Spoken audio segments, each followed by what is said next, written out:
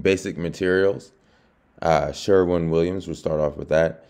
Um, like we said last week, um, it, it basically hit the 50 and the 100. Um, it nearly touched the 100, but it closed above the 50. And since then, it's had a nice little little bull. Uh, Friday was a nasty day for the market in general. So this kind of makes sense why we had it was a positive, but it was much more positive uh, earlier in the day, and it closed off of its high um, below the 50% of this really short term trend.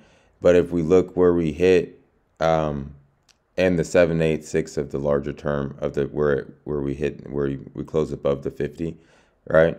Which is good, right? We wanted it I, I, I would have preferred not to drop below, but it, it went to, I mean, nearly perfect where we predicted, so that's fine. And then it it's above, it's we're back in this short term. Does that make sense? So we we kind of cleared our way from the six the six one eight. We're above the six one eight. We got rejected at the seven eight six, but then on the short term trend, we're still kind of more bullish. Does that make sense? If we can get above the 786, then look for us to take out the new high or right here. And then we'll be on target for 312 up to 316. So that's what I'm looking for this upcoming week, as long as the market just doesn't continuously just like get destroyed. But I don't I don't see too much problem with this. Uh, I, I really do like the fact because we had more of like a triple top right there and then we broke down below it but then we closed above it. So we got hopefully this if the buying returns like with the market, it will push this above. Uh, ECU or ECL Ecolab. Uh, was Thursday basically hit target. That's nice. We were 10 cents off, you know, close enough. Uh, I kind of see we, we're probably come down to maybe here, the, the 222 kind of retest this low right here. Um, let's see. Let's kind of pull out a little bit. Yeah, I mean, we just broke out a high. So give it, yeah, I would say we're, let's see if we can find some other resistance or support rather.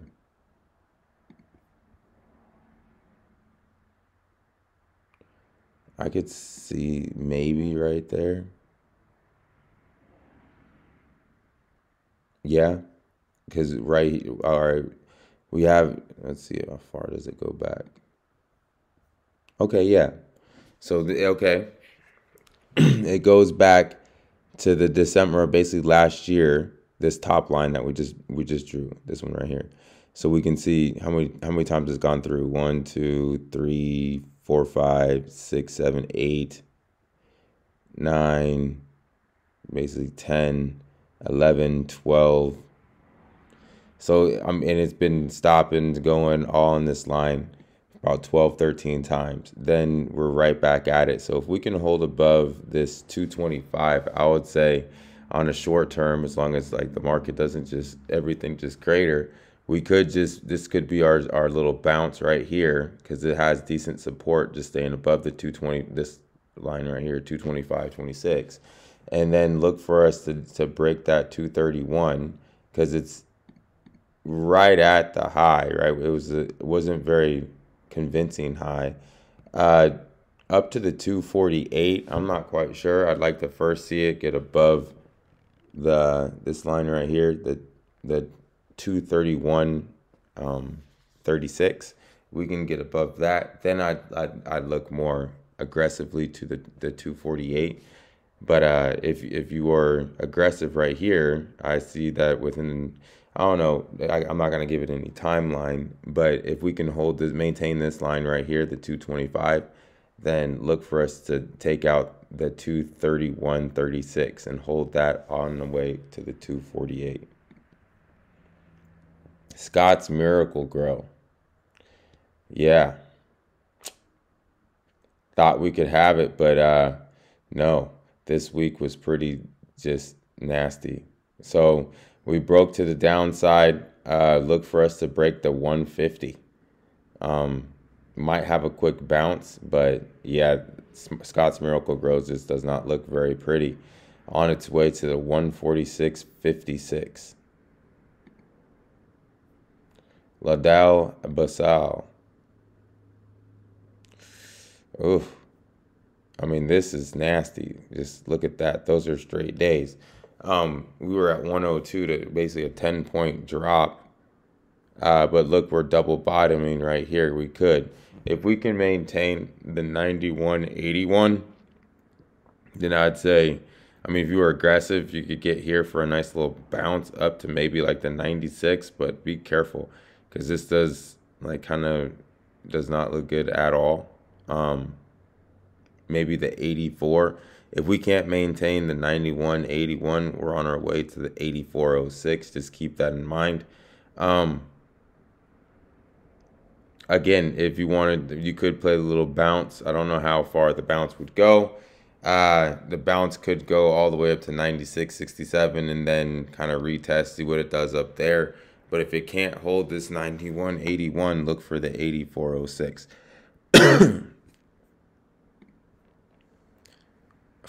Rio Tinto is um yeah, that looks terrible. Um yeah, if we can't hold this 7361 then wow, we got to draw some new lines. Looks like we're be heading yeah, we got to draw a different line. Hold on. Cuz uh the trend is no longer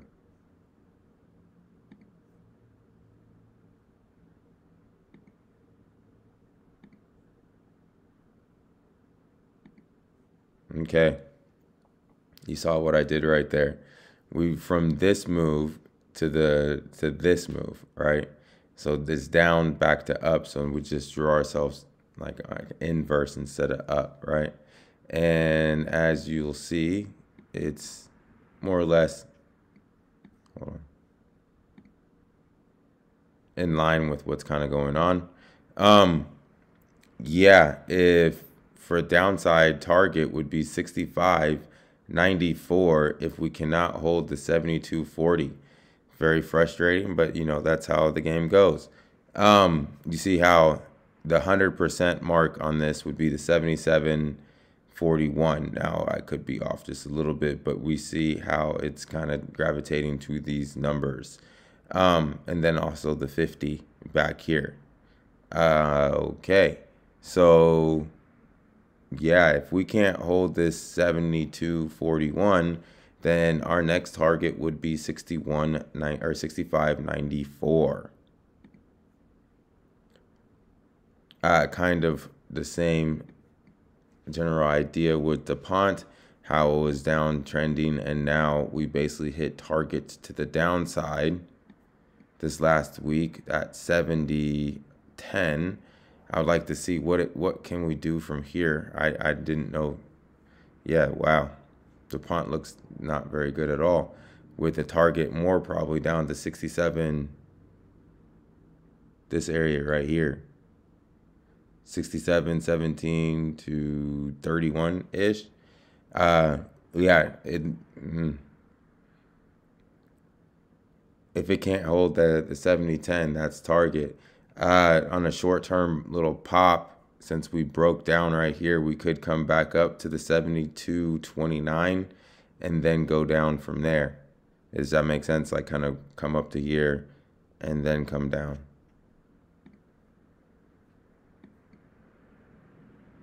Dow Chemical. Mm.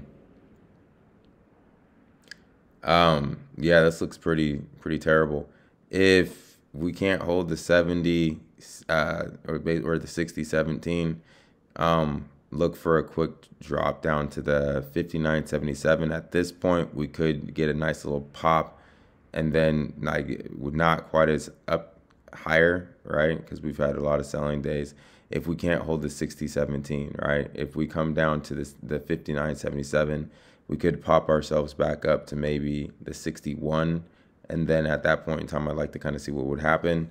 Uh, but if if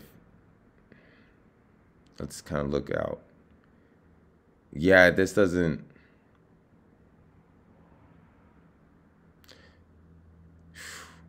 Oof. Yeah, let's do this.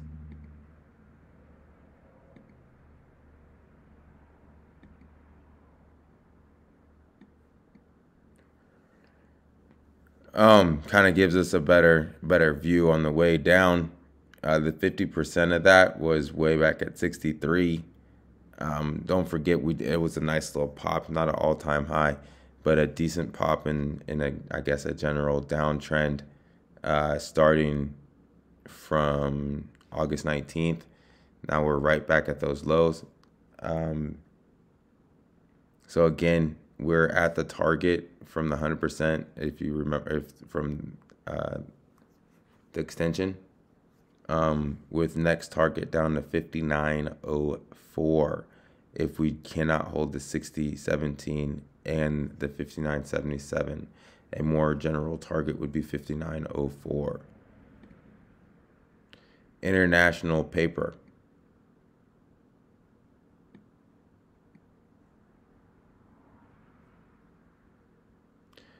uh well we got rejected and the general market is basically hovering us down. Looks like we could have held, but you know, Friday was general down. Um, since it tried so hard to get above, this this kind of makes sense for us to kind of drop down, um, clear every all the the longs out. Uh, what will be very interesting to see is how far will they take it? Will they probably drop it below the 57.72? Because then that would get everybody out from the August and then go from there. Uh, yeah, I don't really see. As long as it's within this range, it's kind of it's difficult, right? From here to here I mean, we could draw it a little bit deeper down to the 56 right here, but this is it's the general. It's it's still the same.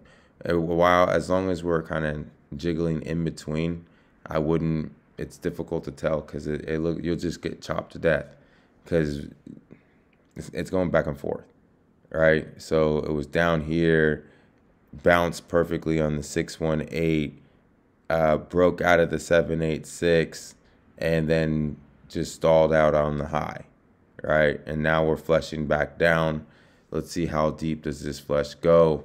Does it take us all the way back down to the 618 to the 50 or do we do we stop out right here? So until we can kind of get a general sign, I wouldn't I wouldn't really play with it. Now if we can get above this teal line and stay above the 5906, then I'd look for it to kind of come up and try to take this. But until it does that, uh, bias to the down. Mosaic, it kind of same thing. We're it's kind of it's in a nasty range. I wouldn't like you'll see we we attempted right here to break. We attempted right here to break, and now we broke or we kind of kissed the death right here. It looks like it. Now again, the general market if the general market's down, then I see this kind of trending itself down to maybe the three two three eight two, this two three six right here, this general area right here, and maybe transition down to the twenty nine uh, sixty three. However, like I said, if the market is is just all gas, then I, I see this coming back up and, and retesting this area right here and hopefully breaking through. BASF, um, yeah, not doing too much of anything, uh, going in and out and all around and not accomplishing anything. So, yeah, we had uh, a nice big buy right here on 820, for you remember, but since then, uh, nothing too much of anything.